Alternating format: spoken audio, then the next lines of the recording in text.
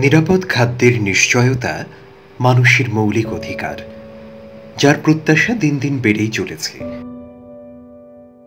সময়ের পরিবর্তনের সাথে সাথে চাষাবাদ প্রক্রিয়ায় পরিবর্তন আসায় ফসল উৎপাদনে রাসায়নিক বালাইনাশকের উপর নির্ভরশীল হয়ে পড়েছেন চাষিরা। আর ফসলকে করে তুলেছেন বিষাক্ত ফসলে ব্যবহৃত এই কীটনাশক ও রাসায়নিক সার মানবদেহের জন্য চরম ক্ষতিকর।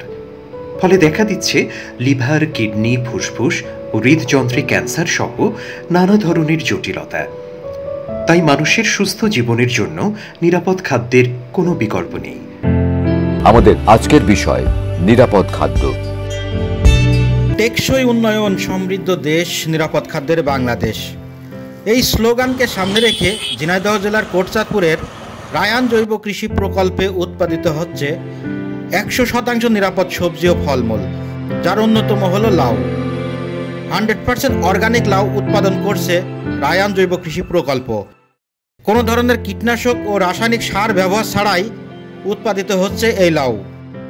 মানুষের স্বাস্থ্যের কথা চিন্তা করে এখানে কোনো ক্ষতিকর পদার্থ ব্যবহার হয় না। বিকল্প হিসেবে জৈব সার, ভার্মি কম্পোস্ট, জৈব বালাইনাশক, ফেরোমন ট্রাফ ইত্যাদি ব্যবহৃত হচ্ছে, যা খাদ্যকে হান্ড্রেড পার্সেন্ট বিষমুক্ত, নিরাপদ রাখে।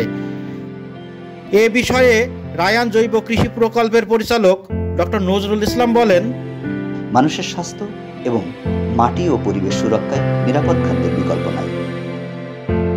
নিরাপদ খাদ্য উৎপাদনের পাশাপাশি বাজারজাতেরও সুব্যবস্থা থাকতে হবে।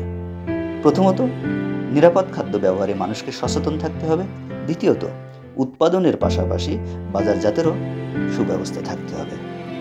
রাজধানী ঢাকাসহ প্রতিটি উপজেলা ও জেলা পর্যায়ে নিরাপদ খাদ্য বিপণনের ব্যবস্থা রাখতে হবে।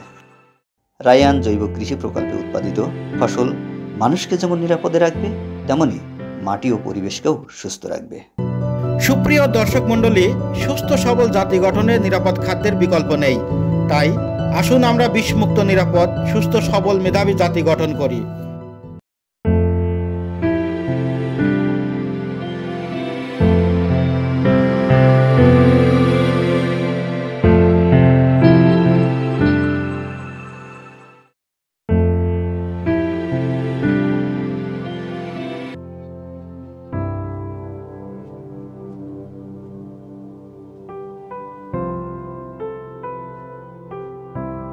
Please subscribe this channel for getting more videos and update.